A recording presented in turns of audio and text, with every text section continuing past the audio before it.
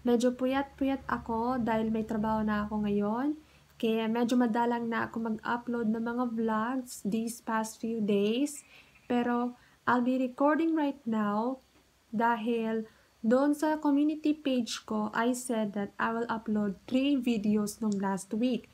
Itong pangatlong video sana is all about noong nag-appear sa panaginip ko si Hyungwon of Monster X. So this is my second story time since the last story time na ginawa ko noong June of last year. So without further ado, let's go to story time number 2. Hyungwon appeared in my dream. So nag-post ako doon sa isang Monster X FB group noong January 22 about sa panaginip ko with Hyungwon. And these are the details regarding this dream. Hyungwon is my classmate in my foreign language class.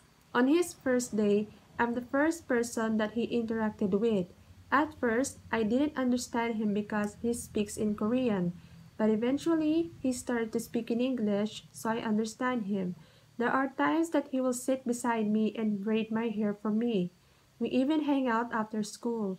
But unfortunately, that dream ends there. At that time that dream occurred, I was about to wake up a few hours ago. I'm glad that I dreamed a happy dream last night. So, nung time na napanaginipan ko yung scenario with Hyungwon, magigising na ako sa umaga. And na-cut short yung panaginip ko. So, this one bebe interpreted my dream. This interpretation will shock you. Ito yung sinabi niya doon sa dream ko. Wow! It's so interesting.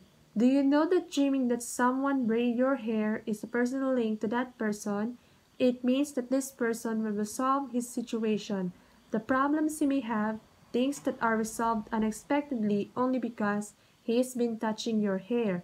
Dreaming with hair, if it's long, the better, means straight. That is passed to the person who handled it. And nag-comment rin ako na, OMG, I happen to have long hair that is passed between my shoulders. And she replied, So cool, lots of strength then.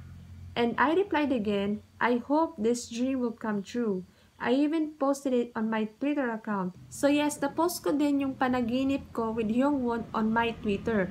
So to those who have read my thread, you are very lucky to have read it. You have read it firsthand from me. I've been growing my hair since last year And this is the length of my hair ngayon. I considered it as long hair kasi medyo lampas na siya sa balikat ko. So if magkatotoo itong panaginip ko, since these past few days, nahahalata na yung mga hints na hindi na binablur yung mga pictures ni Wonho ng Starship, hindi tig-delete yung mga audio ni Wonho sa mga songs na tig-perform ng Monster X sa mga award shows, etc. etc.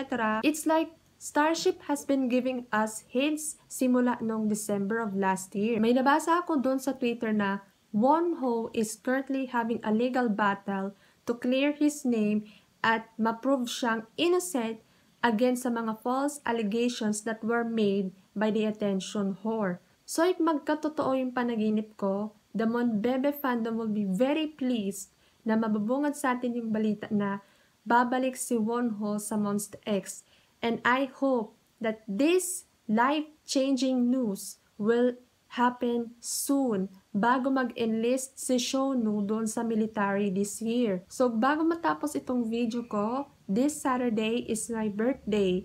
I'm turning 22 this year. At kung may regalo kayo for me, kahit K-pop merch, SB19 and MNL48 merch, I will be very happy na tatanggapin ko as my birthday gifts. Okay? So, I'll see you guys next time. Bye!